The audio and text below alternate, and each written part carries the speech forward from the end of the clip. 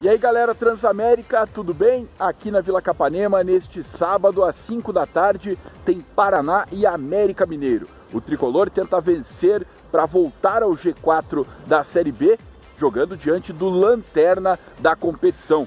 O técnico Matheus Costa concedeu entrevista coletiva nesta sexta e confirmou que o atacante Bruno Rodrigues, com um edema na coxa, está fora dessa partida, talvez também fora da próxima na semana que vem contra o Vitória.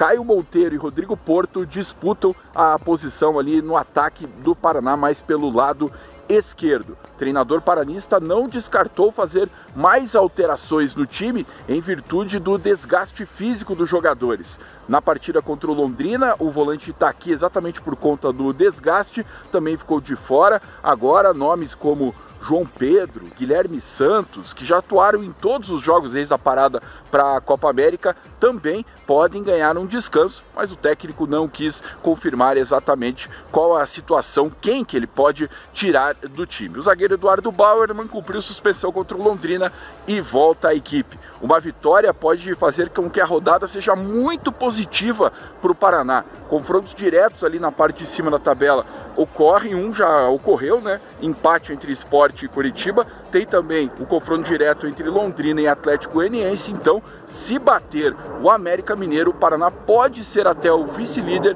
mas é, tem uma grande chance de, no mínimo, ser o terceiro colocado em caso de vitória.